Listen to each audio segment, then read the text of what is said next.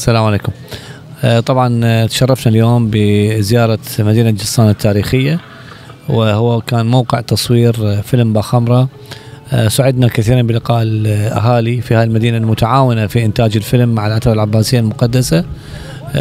مثلت قسم الإعلام في هذه الزيارة وذلك لتكريم الأهالي في مساعدتهم في إنتاج الفيلم كون أنه الفيلم كان عملا يعني آه، لأول مرة عمل تاريخي بكل تفاصيله آه، في العراق آه، ينتج آه، بملاكات وأرض وديكورات وتفاصيل عراقية. فأساس الزيارة هو تكريم أهالي جصان آه، في مساهمتهم بالعمل وأيضا آه، عرض كواليس العمل من خلال فيلم أعد لهذا الغرض. مع عرض الفيلم أيضا إن شاء الله في هذه الساحة آه، قرب الإمام رايكم في الجصان في التاريخ بلا شك يعني هوية هوية جصان كما هي هوية أي مدينة تاريخية في العراق. هي في أماكنها التراثية القديمة وليس في آه، يعني المكان أو البناء الجديد. ونعتقد أن هاي هذه المدينة القديمة أو تلة جصان التاريخية كما يسمى يسمى هنا هو مكان مهم جدا يجب الحفاظ عليه ويجب أن يكون آه، مكان لزيارة كل العراقيين ليعرفوا تاريخ بلدهم العريق. أتمنى أتمنى حقيقة من الجهات المختصة آه، العناية بكل قطعة تراث في العراق وخاصة المدن التاريخية كجصان وهذه المدينة التي تشكل معلما آه، غريبا في منطقة السهل الرسوبي باعتبار أن آه، منطقة السهل الرسوبي ليس فيها تلال كثيرة. فهي تقريبا المدينة الوحيدة التي تكون أو التي هي على تل. جسام محمد السعيدي المعاون الإداري لقسم الإعلام في العتبة العباسية المقدسة. الحمد لله. يعني هي هذه هم ينفد نقطة مضيئة بال- بالولاية. وحسب ما افتهمنا بأنه احتمال راح يعني آه، تتكرر ال- ال- المسألة. احتمال فيلم آخر.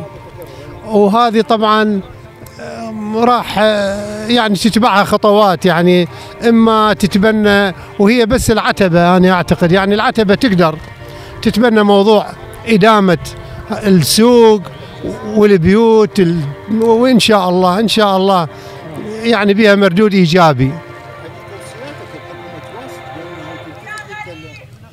والله ملينا يعني من ال يعني من البداية. لا الأهالي ولا ال- الحكومة يعني إحنا طبعا هاي صار فترة كلش طويلة. نطالب بأنه يعني يلتفتون على الأقل يعني لا مديرية الآثار تتجاوب وتجي إلى المكانات عندنا تشم تله وتشم ميشان لأنه آثار تاريخية. ولا الحكومة يعني جات تستجيب. يعني المطالب الأهالي بأنه تهتم. وقلنا هي هذه ما تختلف عن قلعة إربيل. يعني إربيل شوف شلون قلعة وشلون صاير مكان تاريخي وسياحي. فيعني إن شاء الله الله يهديهم ويلتفتون علينا. حقيقة التفاتهم مبادرة جيدة من العتب آه، على تصوير المعالم التاريخية في تلة جصان وهاي طبعا آه، جهود مشكورة مبذولة من عدة أطراف. ونتمنى أن تتكرر هذه المبادرة بالمستقبل وأن أملنا كبير بالعتبة بأن آه، تقوم بعمل لتطوير هذه التلة وخدمتها إن شاء الله. مشكور بسم الله الرحمن الرحيم والحمد لله رب العالمين والصلاة على محمد وآله الطيبين الطاهرين. بالنسبة فد مبادرة حلوة ل- لناحية ت- تصوير الفيلم ونتأمل بالعتبة خير. أن ترمم المحلات والدور حتى يبقى كتراث للمنطقة. لأن المنطقة قديمة من آلاف السنين فيجب آه، أن نعيد ترميمها. ونتأمل بالعتبة خير إن شاء الله على إعادة ترميم المحلات السوق وبعض الدور لهذه المناسبات لتمثيل يعني. عدة أفلام تاريخية. بسم الله الرحمن الرحيم الحمد لله رب العالمين والصلاة والسلام على أشرف الأنبياء والمرسلين محمد وعلى أهل بيته الطيبين الطاهرين. أتقدم بالشكر الجزيل إلى العتبة العباسية المقدسة لا سيما قسم الإعلام على هذا الإنتاج الكبير ألا وهو حياة التي جسد حياة القاسم عليه السلام حيث مرت هذه الشخصية العظيمة بفترات المظلومية فترات الظلم والجور المتمثل بدولة بني العباس حيث عاش غريبا ورحل غريبا وله من المكانة العالية لدى أهل البيت عليهم السلام في العلم والتقوى والزهد. حيث وردت الروايات على علو مقامه وشخصيته الفذة وذكرت من تلك الروايات التي وردت عن الإمام الرضا عليه السلام من لم يستطع لزيارة على زيارتي فليزر أخي القاسم. إذا هو على جانب من العلم والتقوى والمعرفة. أتقدم ثانية بالشكر الجزيل إلى العتبة العباسية المقدسة حيث لبت هذه الدعوة في عرض آه، ذلك الفيلم والإنتاج في ناحية جصان التاريخية. شكرا جزيلا لكل القائمين على هذا الإنتاج العظيم من كوادر وممثلين ومنتجين وعلى رأس العتبة العباسية المقدسة. شكرا جزيلا.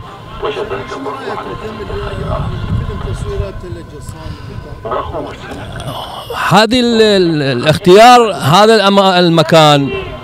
فاختيار المكان كان اختيارا ناجحا لما ترمز اليه هذه المدينة أي مدينة جصان من آه، العمق التاريخي والبيئة التي من خلال تجسدت شخصية القاسم عليه السلام.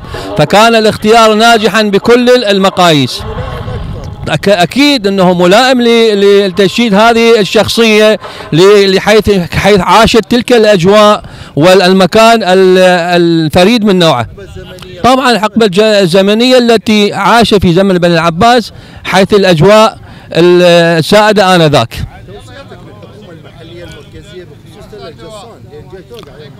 والله العظيم والله يا أخي التوصيات مستمرة من خلال الحكومة المركزية اولا والحكومة المحلية بالاهتمام بهذه الناحية لا سيما المنطقة الأثرية في في أعلى المدينة أي مدينه منطقة التلة ولما ترمز للتاريخ الكبير وتستحق مدينة جصان وتستحق أهالي جصان هذا الاهتمام من خلال الحكومة المحلية والحكومة المركزية إن شاء الله. أكيد هذه المدينة تعتبر مدينة أثرية ويمكن استغلالها للإنتاج السينمائي لأكثر من عمل. لأنه التشكيلة الجغرافية في هذه المدينة تساعد على إنتاج الأفلام السينمائية التاريخية والوثائقية كذلك. حياكم الله. طبعا ناخذ كلمة بخصوص هذا المحفل المبارك مع المبدع المخرج أسهر خميس. الله يحفظه. بخصوص إنتاج الفيلم وتمثيله في ناحية جصان طبعا شكرا لكم واستضافتكم انه وهذا فشي يعني آه، فخر إن نشرف ان نجي الأرض جصان وناحيه جصان حتى نقدم هذا الشيء البسيط. وهو هذا قليل بحق أهل البيت عليهم السلام وإن ننشر عمل لفكر أهل البيت عليهم السلام وننشر فيلم عن عن القاسم الكاظم عليهم السلام. وهذا آه، يعني إحنا إن شاء الله مستمرين بهذا العطاء وهذا الشيء جيد. وأهل جصان ما قصروا يعني في تصوير في تلة جصان تاريخية. وهاي التلة الرائعة اللي كانت تضاريس فسائيه وصورنا بها فيلم راقي جدا. وتعاون اهالي جصان ويانا من الحكومة من مواطنين من إعلاميين. على ما قصرتوا. حقيقة شكر كبير لكم صراحة يعني. أكو أعمال مماثلة أيضا في تلة جصان. ما نعرف بس أكو أعمال مماثلة لكن في تلة جصان أو غيرها ما نعرف ما توصياتك. إن شاء الله يهتمون جصان يعني يهتمون بها يحطوها بسور يهتمون بالتضاريس مالتها بالضبط. إحنا بالعراق نحتاج إلى مدن سينمائية كثيرة. فهاي ممكن تكون مدينة سينمائية نموذجية ممكن بعد اهتمام بها إن شاء الله. جزيلا. أستاذ حبيبي أستاذ سلام. بسم الله الرحمن الرحيم والصلاة والسلام على سيد الأنبياء والمرسلين أبو القاسم محمد وعلى آله الطيبين الطاهرين. طبعا بخصوص الزيارة اليوم تعرفون سابقا تم تصوير فيلم باخمرة في ناحية جصان. يتحدث عن حياة الإمام القاسم ابن الإمام موسى بن جعفر عليه السلام. اليوم آه تم عرض هذا الفيلم في آه مكان مكان التصوير.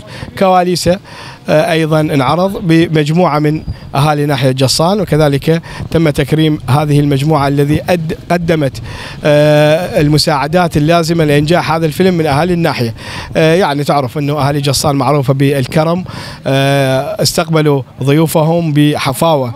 كذلك استقبلهم في المنام والمأكل والمشرب وتقديم المساعدة لبيوت مجانا انطوهم حتى يمثلون بها كل ما تحتاج الفيلم. هو من ناحيه جصان لهذا ارتأت العتبة العباسية المقدسة إلى تكريم آه هذا هذه الثلة من أهالي ناحية جصان قدموا لهم تبريكات من أبو الفضل العباس عليه السلام.